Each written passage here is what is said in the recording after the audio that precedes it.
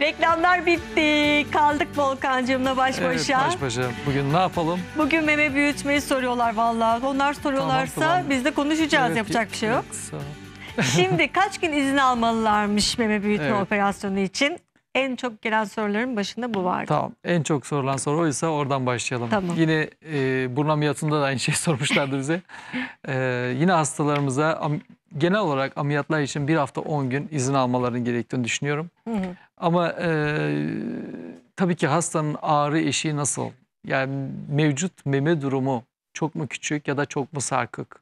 Bütün bunlar da önemli. Şöyle örnek vereyim. E, genç bir bayan 20 yaşında meme dokusu hiç gelişmemiş bir hasta.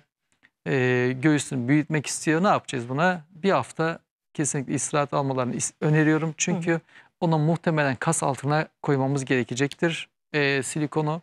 Kas altına koyduğumuz zaman da doğal olarak bir oraya alışma dönemi olacaktır. O kasın altında kolun hareketlerinde biraz ağrı hissedecektir. Hı hı. O yüzden mümkünse bir hafta dinlenmelerini öneriyorum ama tabii bunu dinlemeyenler, üçüncü gün işe gidenler de oluyor. Bir, e, ben bir 10 gün yatayım diyen lüks, lüksünü yaşamak isteyenler de oluyor.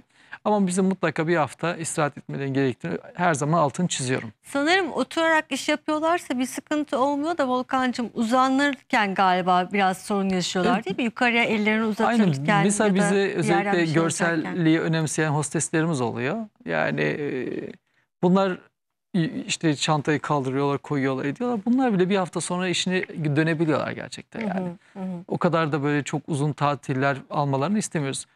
Eğer bir şöyle e, meme büyü, yeterince büyük, yeterince de yeterinceden biraz küçük olsun, sarkmış olsun. Mesela onları yaptığımızda ne yapıyoruz? Daha çok meme dokusunun altına koyabiliyoruz e, silikonu. Kas dokusunun Me- altına mı? memenin- meme dokusunun Meme altına. dokusunun altına. Eğer kasın altına koymamışsanız üçüncü gün işe gidenler oluyor çok rahat. Yani şey e, kolunda kaldırabilir. Çünkü kasla herhangi bir bağlantınız olmadığı için, kasa dokunmadığınız için sadece göğüs altına koymuşsunuz. Göğsünü topluyorsunuz. Altına bir silikon koyuyorsunuz. Üçüncü, dördüncü gün normal hayatına dönebiliyor kesinlikle. Hı hı.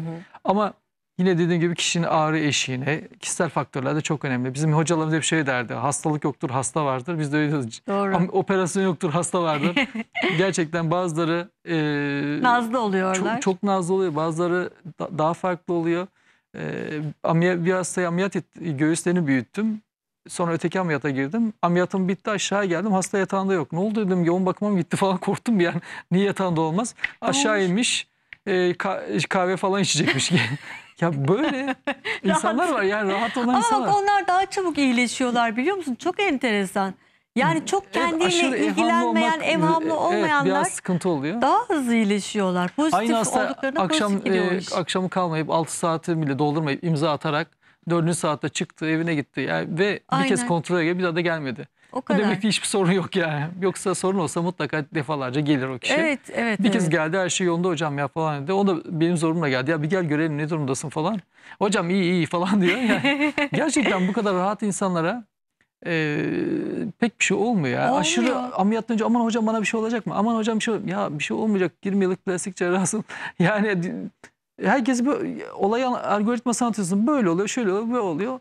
Ama çok böyle ihmam yapanlarda inan bir sorun yaşıyoruz mutlaka. Evet. Ben Aynı diyorum şekilde biraz, ben de onu biraz rahat olun, biraz rahat evet. olun. Yani negatif düşünce e, gerçekten negatif, Negatif. şeyler getiriyor. Getiriyor kesinlikle. sonuçta iyi bir olduğunu düşününüz. Diyet tecrübesi olan bir cerraha gitmişseniz, o doğru düzgün bir silikon kullanacaksa e, bunun sizde başınıza çok büyük bir şey gelme olasılığı çok çok düşük yani. Biraz için rahat bırakırsanız sorunsuz da iyileşeceksiniz. Yaşa aynen. Ama işte çok böyle e, evhamlar, e, narkoz almaya başlarken ah hocam falan yani uyanırken de stresli uyanıyor hasta. Yani eğer stresli uyumuşsa stresli uyanıyor. Ve kesinlikle. kendini kasıyor bir şeyler yapıyor. Ya bir rahat ol- Yani o kadar evhamlıysan yaptırma. Evet. Değil mi yani? Çünkü kendine de e, zarar veriyorsun. Karşıdaki insanı da O etkiliyorsun. tip hastanın yakını da e, sıkıntı Doğru, yaşıyor. Yani a- aman bir şey olmasın bir şey olmasın. Ya gerek yok. Yani gerçekten teknoloji çok değişti. E, Böyle çok büyük bir ameliyat yok. Böyle bir beyin ameliyatı değil bu kalp ameliyatı değil diyorum her defasında. Estetik bir ameliyat yaşıyorsunuz. E, Eğer metabolizmanız normal işliyorsa çok da sıkıntı olmayacaktır. E, Bir haftada izin alın canım. İyi ki varsın Volkan'cığım. Teşekkürler Esra'cığım. Sen de iyi ki varsın.